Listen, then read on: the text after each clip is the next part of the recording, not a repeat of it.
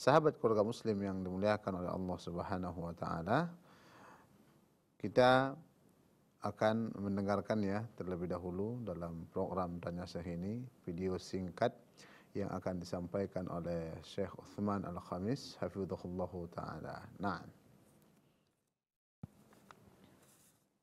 يقول أريد حلا لوسواس الوضوء حيث إنني عندما أغسل وجهي أشك في عدم وصول الماء لبعض أجزاء الوجه المسألة مبنية على غلبة الظن. ما يغلب على ظنك. خلاص يكفي هذا. ما يغلب على ظنك أنه وصل إليه يكفي هذا. كل أجل مسائل الإسلام على غلبة الظن خاصة التشريعات. على غلبة الظن. خلاص امسح على وجهك كله مر يدك على وجهك خلاص. أصاب الوجه كله.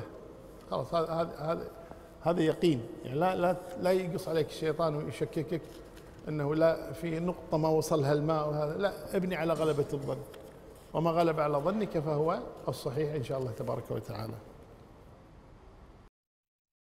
Nah, sahabat keluarga muslim yang dimuliakan oleh Allah Subhanahu wa taala, kita tadi mendengarkan video singkat yang disampaikan oleh Syekh Uthman Al-Khamis hafizahullah taala beliau menjawab pertanyaan uh, dari jamaah ya bagaimana kita uh, mengendalikan bisikan-bisikan atau rasa ragu ketika kita berwudu uh, mungkin kita uh, menganggap ada sebagian dari anggota wudu kita yang belum basah. Mungkin ketika kita cuci muka sebagian pipi atau sebagainya tidak basah atau tangan umpamanya. Bagaimana kita uh, menyikapi itu ya? Maka beliau katakan dalam berwudu itu uh, atau mayoritas seluruh uh, ibadah dalam Islam kita sangat dianjurkan untuk yakin ya. Itu ghalabatuz zon itu sama dengan yakin. Kita harus meyakini kita harus menghilangkan rasa ragu-ragu yang ada di dalam uh, diri kita. Ketika seorang umpamanya berwudu ketika dia mencuci muka maka ketika dia merasa seluruh anggota wudu bagian muka ini telah dikenai air itu saja sudah sudah cukup. Maka dia hilangkan rasa rasa ragu. Rasa ragu dia itu dia hilangkan. Yang jelas ketika dia sebelum berwudu dia berniat ya ber, berniat berwudu dengan mengucapkan bismillah setelah itu dia cuci anggota uh, wudhu tersebut.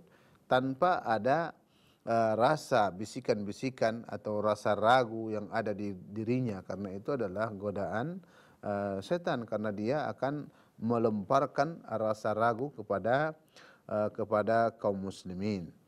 Kemudian uh, dalam uh, sebuah kaidah fiqhiyah disebutkan al-yaqinu la yazalu bisyak ya.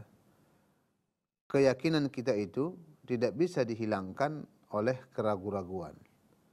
Jadi intinya ketika kita sudah yakin anggota tubuh kita itu telah dicuci atau telah dikenai oleh air atau sebagian ada yang diusap ya, maka itu saja sudah cukup.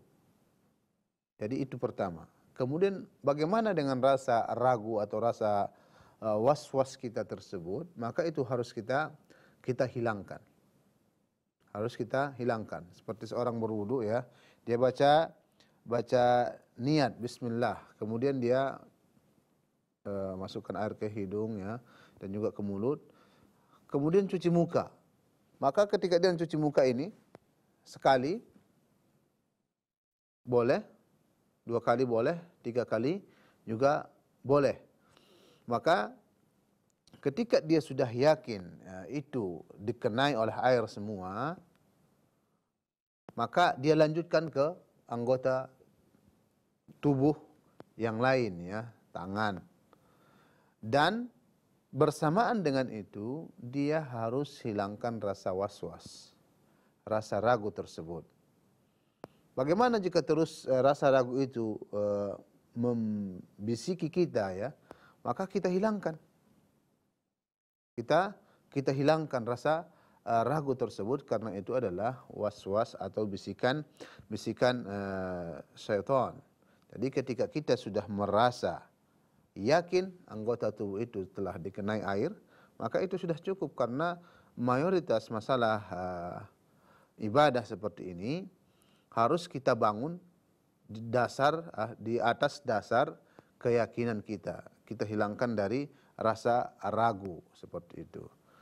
Atau ketika kita umpamanya ibadah yang lain bukan hanya wudhu saja. Seperti kita sudah yakin ya. Kita telah uh, berniat ketika melangkahkan kaki kita untuk umroh umpamanya di mikot atau haji. Itu sudah cukup karena kita sudah yakin telah membaca baca niat. Sama halnya ketika kita sholat umpamanya.